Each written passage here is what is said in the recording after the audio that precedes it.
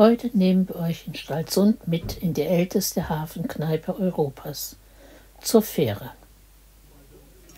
Ein beliebter Treffpunkt für Einheimische und Fremde.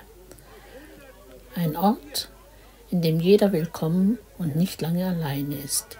Hier hat Hanni viele Jahre die Tradition aufrechterhalten, bevor sie vor einem Jahr von ihrer Tochter Frenze abgelöst wurde.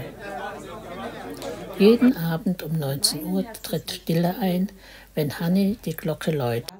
Ich glase jetzt für Frieden, Frohsinn und Zusammenhalt.